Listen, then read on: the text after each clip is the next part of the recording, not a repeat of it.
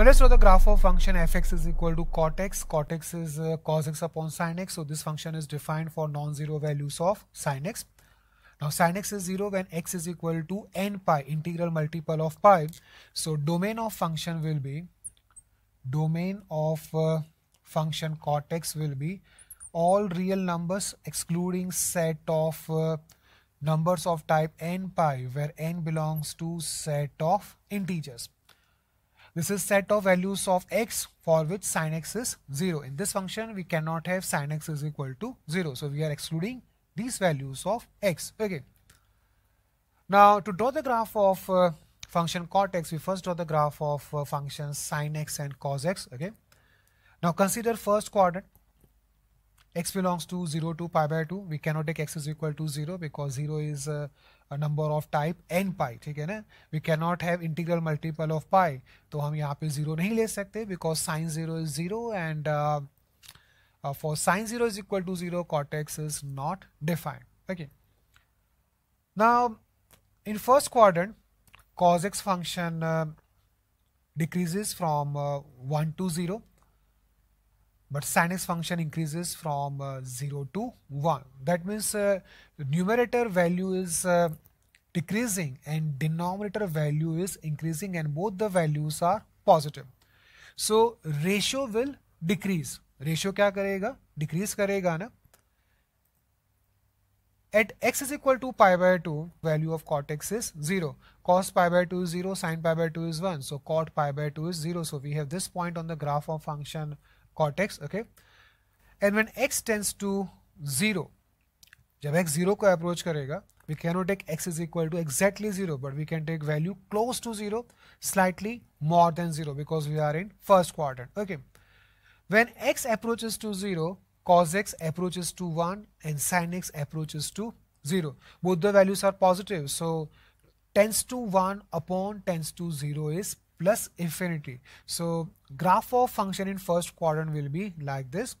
Uh, to the right of 0, graph falls from plus infinity.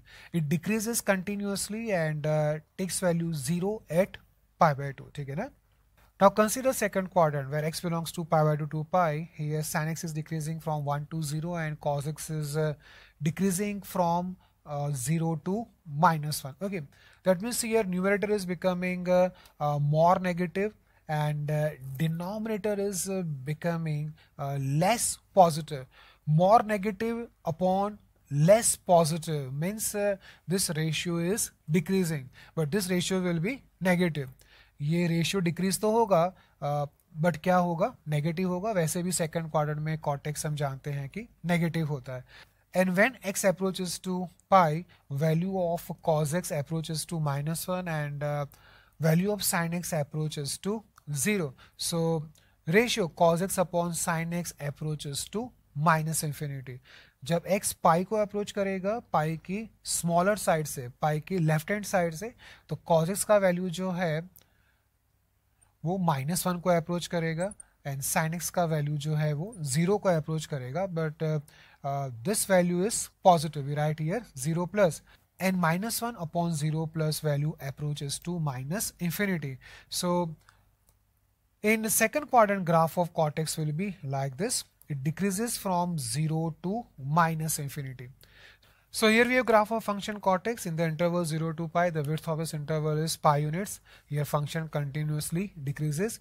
Now for cot x function we know that cot of pi plus x is equal to cot x for all x belongs to uh, domain of function okay that means uh, period of function cot x is pi fundamental period of cot x function is also pi that means uh, in the intervals pi to 2 pi and then from 2 pi to 3 pi and so on uh, we have same graph of function cot x what we have in interval 0 to pi तो हम यहाँ पे क्या करेंगे जो graph cortex का zero से पाई में आ रहा है उसी ग्राफ को हम पाई से टू पाई टू पाई से three pi then three pi से फोर पाई में हम कॉपी करते जाएँगे So this is the graph of function cot x. Period is pi, domain is r minus set of numbers of type n pi, n belongs to z.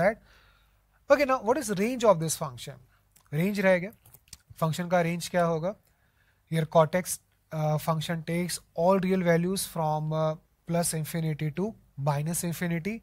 So range of function is all real numbers. 10x and cot x का जो range है वो all real numbers होता है ठीक है ना